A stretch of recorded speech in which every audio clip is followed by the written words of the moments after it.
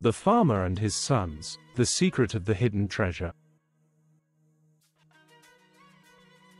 Once upon a time, in a peaceful village nestled among rolling hills, there lived an old farmer who had worked his land diligently all his life. He had three strong sons who, unlike their father, often quarreled and avoided the hard work that farming required. As the years passed, the farmer grew weary and knew his time was coming to an end. Worried about his son's future, he called them to his bedside.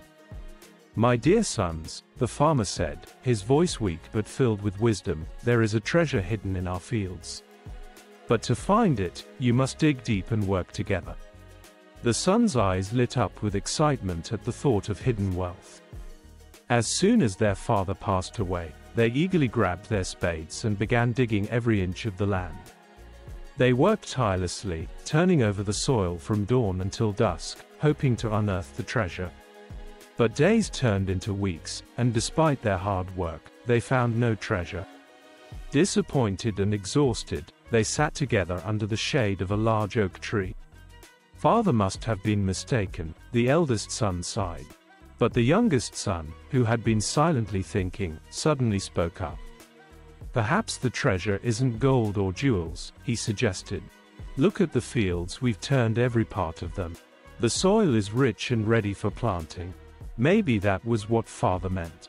Realizing the wisdom in his brother's words, the sons decided to plant crops in the newly tilled fields.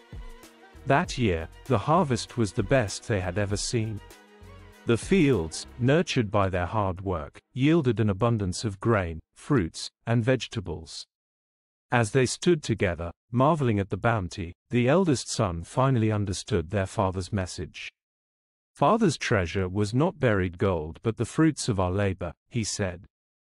By working together, we've not only honored his legacy but also secured our future. And sir, the brothers continued to work the land in harmony, remembering their father's lesson. The treasure they found was far greater than wealth, it was the bond they forged and the prosperity they created together.